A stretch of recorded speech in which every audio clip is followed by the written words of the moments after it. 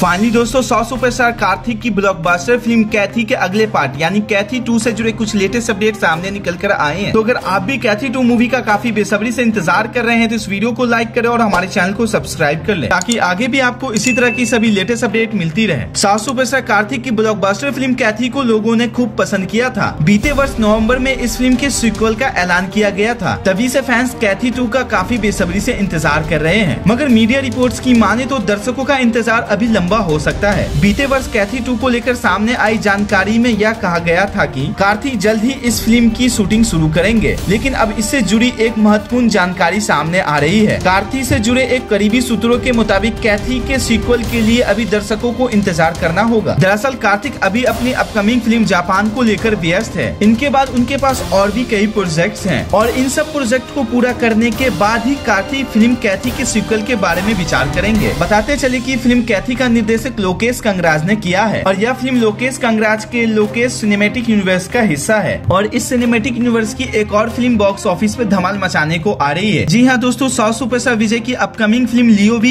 इसी cinematic universe का हिस्सा है तो ऐसा हो सकता है की लियो मूवी के रिलीज के बाद ही कैथी टू मूवी पे काम शुरू हो सकता है आप क्या सोचते हैं इस बारे में हमें कॉमेंट्स करके बताए तो फिलहाल के इस वीडियो के लिए इतना ही मिलते हैं नेक्स्ट वीडियो के साथ